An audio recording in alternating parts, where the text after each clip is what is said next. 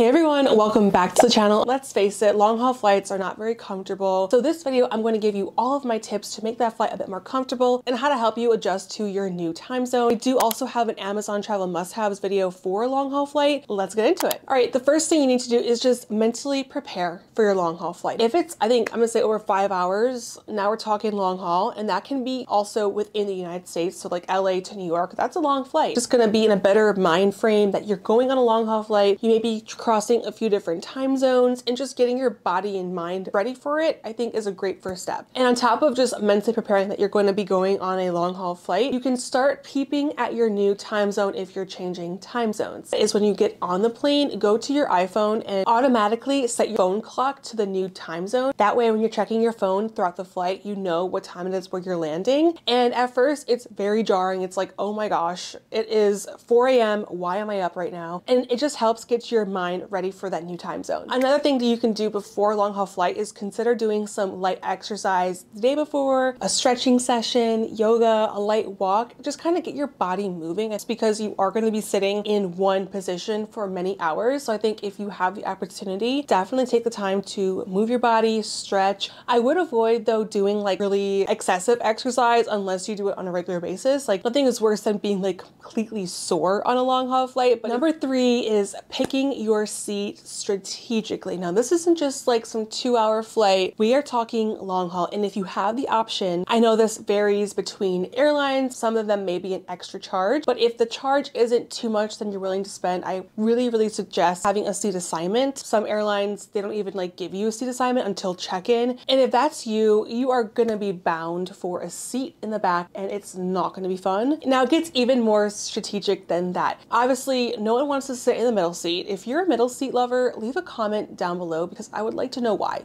Okay, but if you plan on sleeping during the flight, definitely pick a window seat. That way you can kind of lean on the seat. No one's gonna bother you. If you have to use the bathroom though, you're gonna have to ask two other people to either get up. So if you are a sleeper, if you don't wanna be moved, if you don't have to go in the bathroom a lot, I would pick a window seat. If you're like me, I'm the type of person that needs to be able to get up when I wanna get up. So I am an aisle seat girl. And if you are stuck in the middle, just, you know, that's where the mentally preparing comes in, you know. I have another trick. This is like my pro tip. If you are traveling in a group of two, like me and Al, we always travel together. So when I book my seats, I book him on a window and I book myself in an aisle and I leave the middle seat open. Normally, because no one wants to sit in the middle seat, no one books that middle seat unless it's filled at check-in, which happens quite often, especially now because travel seems like every flight is full that I've been on recently. But I think it's a better bet. You may have a middle seat open. It has worked out for us in the past, so it's a gamble if, if you are willing to take a gamble, I recommend why not trying it? And also if you can avoid picking a seat near the bathroom. That's where people hang out. If they have to use the bathroom, they usually just stand there. And for me, I think it's kind of distracting. All right, my next tip is be early for your long haul flight. Nothing is more stressful than either missing a long haul flight because rebooking that is a bit more challenging because most long haul flights, no matter where you're flying, they don't have many options. If you have a layover, you're gonna maybe delay your trip a day or two days. I know it's boring if you arrive to the airport, there's nothing to do, the food really isn't that good, but I think it's better than being stressed out. You never know how long you're really gonna need at the airport. Last long haul flight, I was flying from Paris to New York, and they always say arrive three hours early for an international, and we needed every minute of those three hours. The line to check our bags wasn't long, but if you're checking bags, you need to account for that line. You need to account for security, and if you're flying internationally back to the US, they don't have like TSA pre, so everyone is in the same line. So that took like an hour. And you're also leaving the country, so you have to go through custom. That line took an hour and a half. After we got to the customs line, our plane was already boarding and we were early for the airport. Allow yourself extra time just in case those things happen. Once you get on the plane, it's time to get cozy. So wherever you're seating, this is gonna be your new home for the next five, six, ten plus hours. So make it your own, make it comfortable. Make sure all of your essentials that you want to use throughout the plane are right, right next to you or on the seat in front of you. Get your headphones out, get your blanket on because if it's international, they do give you a blanket. If you're not flying an international flight, I don't think they give you blankets. So I love this travel blanket from Amazon. It's super cozy. You could bring your own blanket, take off your shoes, but please wear socks, please. and better yet, wear compression socks and just get comfortable because this is gonna be your little place for the next couple hours. Down the seats with the antibacterial wipes, get comfortable. The next tip is to make sure you have all of your essentials. But to sum it up quickly, I like to bring these clear containers. These are from Amazon and I keep my essentials in here because they're clear. So on the plane, they usually dim the light sometimes and you can actually see what's inside. I would highly recommend bringing some eye drops. I would bring deodorant, lotion, toothbrush, and toothpaste. I also have like an electronics bag as well. So I have everything that I'm gonna need on my plane right in front of me. And if you've been enjoying this video so far, please give it a thumbs up. That helps YouTube recommend it to other travelers like yourself so we can all endure a long haul flight together. Next tip is to stay hydrated. I know they say drink water, drink water, but for real, drink some water. So whenever they come by with a beverage cart, always get a glass of water. But I highly recommend just bringing your own water bottle so you know if you're thirsty, you have something that you brought on. You could also bring some liquid IV that helps with some electrolytes, keep your hydration levels up. My favorite flavor is passion fruit and tropical punch. They're so good. And let's talk about that wine cart. If you're flying international, they do serve wine on the plane and they do not mind refilling your cup. And if you want to keep your hydration levels up, I highly recommend just skipping the wine cart altogether. I know it's hard, like, and I am not one to judge. Like, I love drinking wine, but if you're serious about keeping hydrated, the wine isn't really going to help you out. I would honestly just limit it to just one glass if you're going to go for the wine. The one thing about airplanes is that it's extremely loud. To survive a long haul flight, you're going to need earplugs or noise canceling headphones. Noise canceling headphones are honestly just a savior because all that noise is just blocked out. Conversations are blocked out. Now, if you don't have noise canceling headphones, you have to bring some earplugs 100%. Don't know how I would do a long flight without earplugs or noise canceling headphones. I don't even go on like a two hour flight without it. Also, if you're listening to a podcast or watching a TV, the volume is at the perfect level. If you don't have noise canceling, you have to crank up the volume like to full volume and you still can't hear anything. So the noise canceling headphones are just essential for a long haul flight. And to stay more comfortable, I would definitely recommend bringing a neck pillow. I love this one from Amazon. It's an adjustable neck pillow and you can kind of form it to any weird position. So it's super comfortable to wear around your neck. It has like the foam in it is a bit more like sturdy, but also if you just want to hold it, if you just want to like cushion yourself against the seat, I just love this pillow. For any long haul flight, it's always best to be prepared and I would charge all of your electronics the day before or just before you get the flight. So that means your cell phone, Kindle, let's say you're using an iPad, a computer, keep all those charged. You don't want to rely on the in-seat power outlets because sometimes they don't work and you don't want to wait it out to charge your devices to realize you cannot charge it. And because sometimes those in-seat power outlets may not work, I would pack um, a portable power bank. That way you can charge your phone, the laptop, iPad, just in case those don't work. And another tip is to bring your own entertainment. If it's an international flight, you can bet there's gonna be a TV in front of you. But if you're flying long haul within the United States, like LA to New York, there may not be a TV on your plane. So if that's the case, I would really recommend bringing your own entertainment, whether that being podcasts, TV shows that you downloaded. And then also you can bring some non-electronical entertainment. You could bring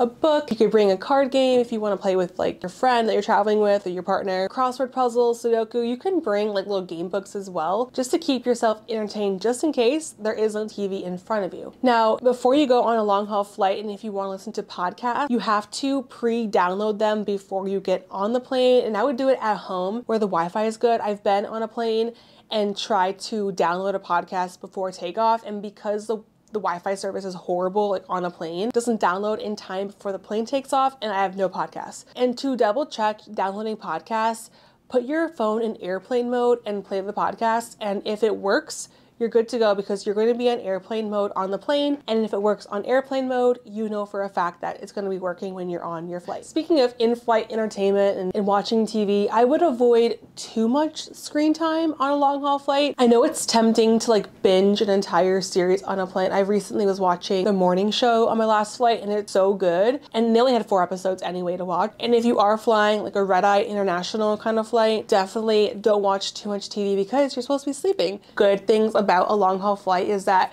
you are off of Wi-Fi. You are basically disconnected from the world. So if you need that time to like work on things, it's like the perfect opportunity because you're not going to get emails, you're not going to get text messages. You can kind of just like really focus on anything that you're working on. What are things that you always wanted to do but never are able to get done at home? Like bring it on the plane. Like if you want to do a face mask, do a face mask. I usually do like under eye masks. They're really nice. Bring a pen and paper and journal. If you want to research something and you have the Wi-Fi, like go do it. Like this is the time to kind of do those things that you never are able to do. Next tip is to wear your favorite comfortable clothing. Like it's essential to be comfortable, right? I would avoid jeans on a long haul flight and I would avoid fabric that's not breathable. And by the way, I found the most comfortable airplane pant. I will leave it on the screen right here. They are from Amazon. They're so comfortable. They're extremely lightweight, so they aren't overheating. And one of the things I forgot to mention in my Amazon travel must-haves video is that when you're finding airplane pant, looking into the ankle band. So I know a lot of like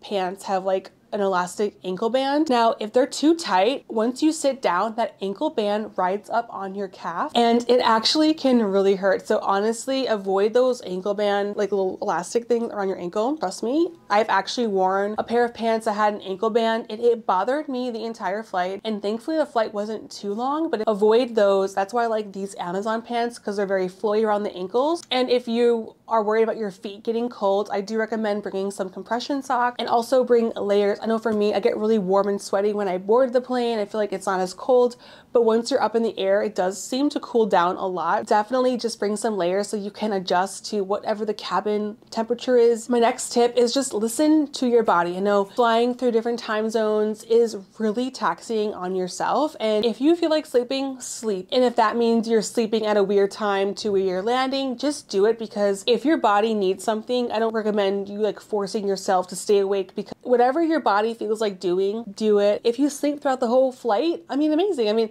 I feel like our bodies react more to no sleep than having too much sleep. Oversleep one day, I feel like it's not going to be as damaging as like really not sleeping at all. Like the day before a long haul flight, be sure you get a great night's sleep. Just because like for me, can't really get a good sleep on the plane. So if I had a bad night's sleep in my own bed and then have no sleep on a plane, I'm to be like not in a good mood. Prep your body the day before, have an amazing sleep, go to bed early, hydrated, take a long shower, and just like have a really great pre night's sleep. So once you get on that plane, if you aren't able to fall asleep, at least you had a really good night's sleep the day before. And then here are some of my tips to trying to fall asleep on an airplane. For me, it's hard, but I actually implemented this on my last flight and it really did help me out. If you are flying a red eye flight, that could be from the west coast to the east coast within the United States or from the United States to Europe, the first thing that you need to do when you get on that plane is try to psych yourself down to go to sleep. So take off your makeup, brush your teeth, kind of do your skincare routine. Usually on an international flight, they do feed you right as soon as you get on the plane. Eat the food, they'll take it away, and that's your moment to fall asleep. Even though you may not be tired, put an eye mask on, put your headphones or earplugs in, put your blanket on, and start closing your eyes. If you can just kind of get your body into that sleeping mode, at least trying to get some sleep helped me out on my last flight. You could also take some melatonin and make sure you have all the most comfortable clothing. And then once you land, how do you adjust that time zone faster? I mean, the first day is always just like the weirdest feeling because you're just like super tired. It's daytime, the sun's out, and your body is just so confused. When you get to a new time zone, try to eat in the same schedule as a regular meal. So, like if it's dinner time, eat at dinner time, and then try to stay awake until like your regular bedtime wherever you live. Try, try to stay up until 10 so that you can sleep and kind of have an eight hour sleep schedule. Because if you fall asleep at six and you wake up eight hours later, you're gonna be waking up at 2 a.m. and your body's probably gonna be fine because it had eight hours of sleep, but now you're up at 2 a.m. So try to stay awake as long as possible. It's so hard, but if you are going to a place with sun, try to get outside, get that sun on your body so your body can know that you're in like a new time zone. Usually when I do that, by the second day, I'm good. Like I'm ready on the time zone. So it's kind of just like adjusting that first night's sleep and you should be ready to go. And, and last but not least, bring your own snacks on the airplane. International flights, they do feed you, but you can have a longer flight within the continental US from let's say, the East Coast to LA, but they don't feed you anything. Even if the flight is like five hours. Like I find that so wild. Like how do they get away with it? You have to bring your own snacks to get you through. I love bringing these little chomps. These are beef jerky sticks and I find energy bars, like the ones that are like normally sweet, they literally do nothing for me. I eat one and I'm starving. So these kind of definitely cure my hunger a bit more than those. But I also like to bring on a long haul flight like my own peanut butter jelly sandwich. Those are great because they don't have to be refrigerated the whole time. You could bring string cheese, yogurt, but you have to eat it again like before takeoff just because you don't want it to be like sitting around too long. Those are like more of like my healthy snacks. I also like to bring trail mix. Nut allergies are a thing. If someone does have a nut allergy on the plane, they usually do announce it. Let me know if you do have a nut allergy and what your experience is with that. But I never had my own situation where I couldn't eat my own trail mix. And pretzels are also pretty good snack. You can also bring your own snacks for an international flight, but I do find the food that they do feed you is pretty filling. So there you go. Those are all of my long haul flight tips for a better long haul flight. I hope you enjoyed this video and let me know down below where your next long haul flight is. I'd love to know where you're flying to and where you're flying from. I also do have some other Amazon travel must-haves videos if you are traveling anywhere soon. With that, I hope you guys have an awesome day and I will see you in the next one. Bye!